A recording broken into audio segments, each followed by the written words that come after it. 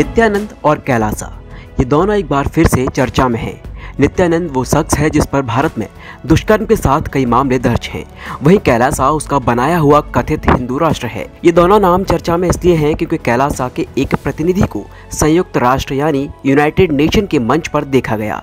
जानेवा में हुई मीटिंग में कैलाशा के प्रतिनिधि ने भारत पर कई आरोप भी लगाए हैं। मीटिंग के बाद कैलाशा के ऑफिशियल ट्विटर अकाउंट से एक पोस्ट की गई है।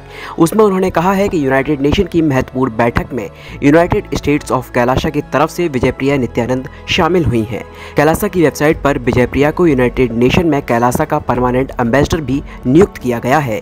इतना ही नहीं यूनाइटेड नेशन की इस बैठक में विजयप्रिया ने भारत पर प्रताड़ित करने का आरोप तक मर दिया है। इस विवाद के बीच आइए जानते हैं कि आखिर दुनिया के नक्शे पर नित्यानंद का हिंदू राष्ट्र कैलासा आखिर कहाँ स्थित है। इसकी आबादी कितनी है और यहाँ कौन सा कानून चलता है?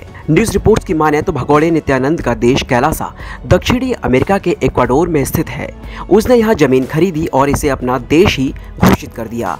भारत से इस देश की दूरी सत्रह हज़ार किलोमीटर की है। आबादी की बात करें तो कैलाशा की वेबसाइट पर जनसंख्या को लेकर एक अजीब सा दावा किया गया है।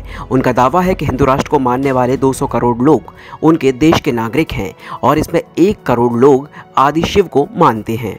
हालाँकि संयुक्त राष्ट्र में विजय प्रिया ने दावा किया है कि कैलाशा में 20 लाख अप्रियवासी हिंदू रहते हैं।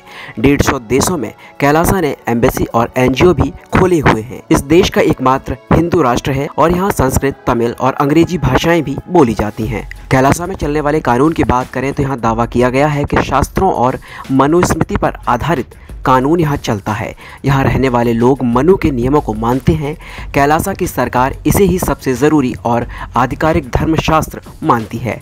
वेबसाइट के मुताबिक इस किताब के ज़रिए डेढ़ हज़ार साल पहले प्राचीन भारत में नियम और कानून जो चलते थे, उनका पालन आज के कैलाशा में किया जाता है।